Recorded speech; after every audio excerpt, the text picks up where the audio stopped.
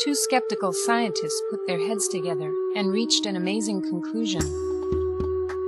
There must be a God.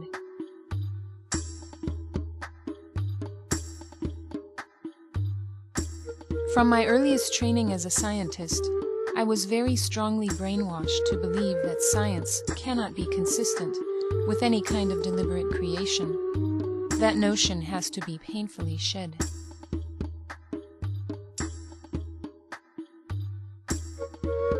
At the moment, I can't find any rational argument to knock down the view which argues for conversion to God.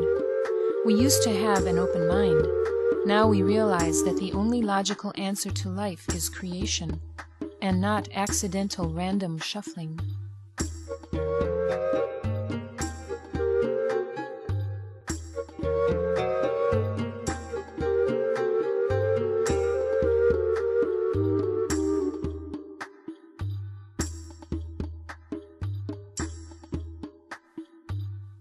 Hoyle acknowledged that steady state theories of cosmologies, of which he was one of the chief exponents in the 1950s, are not now tenable because of the evidence for evolutionary galactic and stellar processes. But the Big Bang view is similarly not tenable because of the way in which it implies the degradation of information. Of adherents of biological evolution, Hoyle said he was at a loss to understand biologists' widespread compulsion to deny what seems to me to be obvious.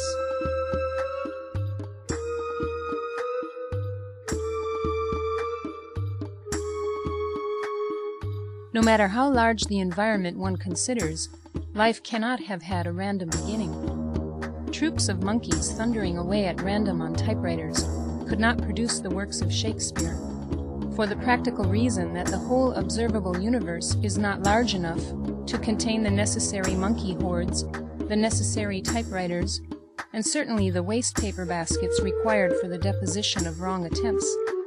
The same is true for living material.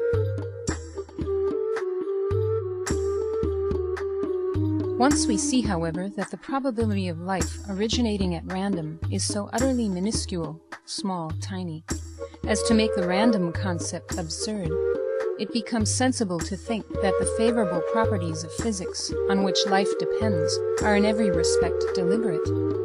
It is therefore almost inevitable that our own measure of intelligence must reflect in a valid way the higher intelligences to our left, even to the extreme idealized limit of God.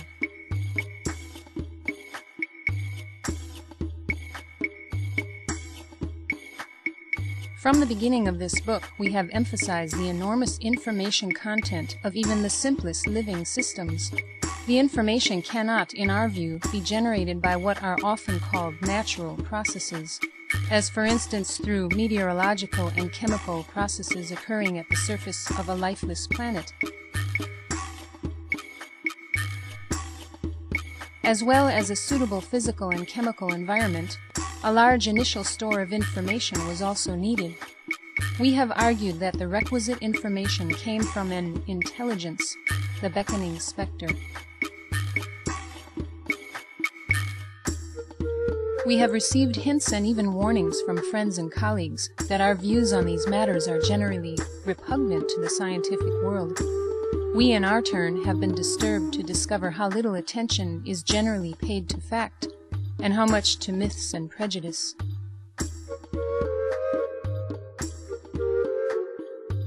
At all events, anyone with even a nodding acquaintance with the Rubik Cube will concede the near impossibility of a solution being obtained by a blind person moving the cubic faces at random. Now imagine 10 to the 50th blind persons each with a scrambled Rubik Cube and try to conceive of the chance of them all simultaneously arriving at the solved form. You then have the chance of arriving by random shuffling of just one of the many biopolymers on which life depends. The notion that not only the biopolymers but the operating program of a living cell could be arrived at by chance in a primordial organic soup here on the earth is evidently nonsense of a high order. Life must plainly be a cosmic phenomenon.